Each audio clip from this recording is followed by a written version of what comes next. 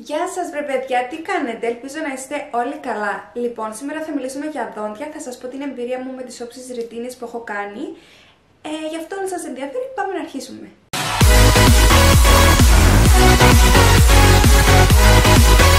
Αυτό το βίντεο το κάνω γιατί πριν πάρω την αποφάση να κάνω όψεις ρητίνης είχα ακούσει πάρα πολλά, ο καθένας έλεγε ό,τι ήθελε Είχα ακούσει ότι δεν θα είναι πια λειτουργικά τα δόντια μου, ότι θα είναι απλά μια ωραία βιτρίνα, πράγμα που δεν ισχύει.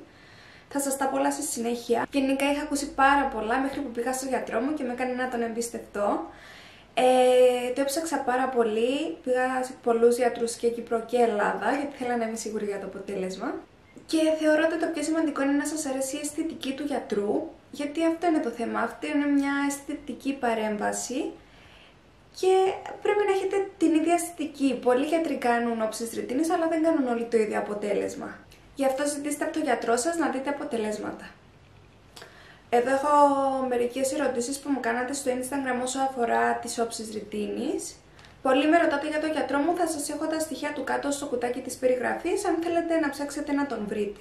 Όπως είπα και πιο πριν, εγώ το έψαξα πάρα πολύ, πήγα σε πάρα πολλούς γιατρούς. Αυτό δεν σημαίνει ότι οι άλλοι γιατροί που πήγα ότι δεν ήταν καλοί, ήταν καλοί.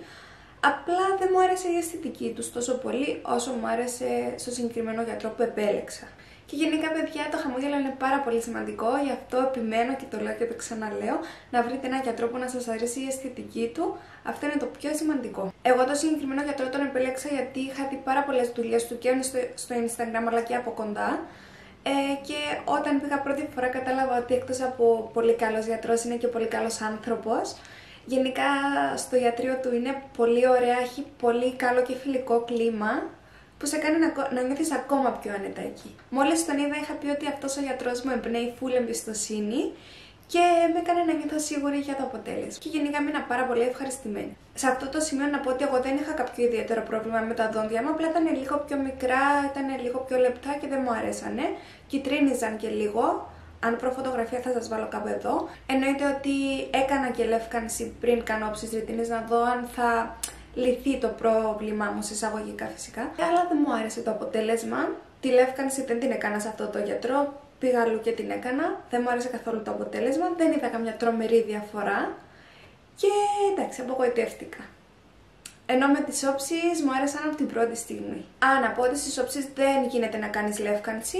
Ε, μπορείς να κάνεις διάλυσμα και φυσικά πρέπει να κάνεις πολύ συχνά καθαρισμό. Πολύ συχνά νομίζω κάθε 6 μήνες. Εγώ κάνω κάθε ένα χρόνο, αν με ρωτάτε. Επίσης να πω ότι η διαδικασία είναι ανώδυνη. Αλήθεια. Ε, αυτό μπορώ να σας το εγγυηθώ. Δεν πονάς καθόλου. Είναι... Πώς θα σας εξηγήσω, περίπου όπως κάνουμε τα νύχια μας. Δηλαδή στην αρχή τροχίζονται ελαφρώς, μετά... Κάτι βάζει, βάζει χρώμα, βάζει κάτι μετά, δεν ξέρω. Αν θέλετε να σας το εξηγήσει καλύτερα, καλύτερα να στείλετε σε ένα γιατρό να σας πει πώς είναι η διαδικασία, αλλά το μόνο που μπορώ να σας εγγυηθώ είναι ότι η διαδικασία είναι ανώδυνη. Α, επίσης να πω ότι αφού τροχίζονται προφανώς και δεν έχει γυρισμό, δεν μπορείς να πεις βαρεθήκα τις όψεις ρητίνης, θέλω τα δόντια μου τα παλιά, αλλά δεν, δεν υπάρχει λόγος να θέλετε τα παλιά σας δόντια, εγώ νιώθω ότι με αυτά ε, τα είχα από πάντα τα νιώθω δικά μου. Επίσης να πω ότι αφού τροχίζονται προφανώς και δεν υπάρχει γυρισμός, δηλαδή δεν μπορείς να πεις βαρεθήκα τις όψεις, θέλω να πάω πίσω στα παλιά μου δόντια, αν και αν βρεις το σωστό γιατρό, σωστό εννοώ που να σας αρέσει η αισθητική του, δεν υπάρχει περίπτωση να θέλετε τα παλιά σας δόντια. Για να είμαι ειλικρινής, εγώ προσωπικά την πρώτη μέρα που τα έκανα είχα πάθει σοκ. Απ' τη μία ενθουσιαστήκα πάρα πολύ γιατί μου άρεσε πάρα πολύ το αποτέλεσμα. Απ' την άλλη έλεγα όχι τι πήγα και έκανα γιατί ένιωθα κάτι ξένο, ένιωθα σαν να φοράω μασέλα. Ε, δεν τα νιώθα δικά μου, αλλά αυτό κράτησε δύο-τρεις μέρες το πολύ και μετά από τότε ε, τα νιώθω δικά μου. Νιώθω ότι αυτά είχα από πάντα. Ο γιατρός σου λέει ότι δεν πρέπει να δαγκώνεις σκληρές τροφές όπως μήλο, καρότο, παξιμάδι και τέτοια. Για να είμαι ειλικρινής, εγώ τον πρώτο μήνα δεν δάγκωνα γιατί φοβόμουν, πρόσεχα πάρα πολύ ότι έτρωγα το έτρωγα σε μικρά κομματάκια, το έκοβα δηλαδή. Ε, αλλά μετά, παιδιά, έτρωγα κανονικά, δάγκωνα τα πάντα και μήλο και καρότο από όλα. Ε, ελπίζω αυτό το βίντεο να μην το δει ο γιατρός μου. Και φυσικά ελπίζω αυτό να μην μου στοιχίζει και στο μέλλον. Δεν ξέρω. Με ρωτάτε πόσο καιρό κρατάνε, ε, από όσο ξέρω κρατάνε από 3 έως 13 χρόνια ανάλογα με τις συνήθειές σας και το πόσο τις προσέχετε. Οι περισσότερες ερωτήσεις, παιδιά, αφορούν το κόστος. Το κόστος σίγουρα δεν μπορώ να σας το πω εγώ, θα σας πω στο περίπου και να υπολογίσετε. Όταν τα έκανα εγώ πριν 3 χρόνια, μπορεί και περισσότερο, δεν θυμάμαι ακριβώς, ε, ήταν γύρω στα 80 με 100 ευρώ το δόντι.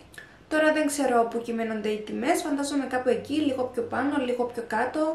Ε, σίγουρα εξαρτάται και από το γιατρό που θα επιλέξετε και από το πρόβλημα σας φυσικά. Εγώ δεν είχα κάποιο σοβαρό πρόβλημα όπως προανέφερα, αλλά σας παρακαλώ ψυχούλες μου να μην πάτε στον πιο φτηνό γιατρό απλά για να το κάνετε. Να πάτε στον καλύτερο που θεωρείτε εσείς καλύτερος, σε αυτό που σας αρέσει περισσότερο η αισθητική του. Γιατί παιδιά το χαμόγελο είναι πάρα πολύ σημαντικό.